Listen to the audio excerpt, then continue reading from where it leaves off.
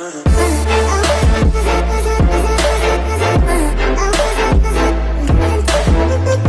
sure if you want to shout, give me a shouting video and put it on your title as jay's friends.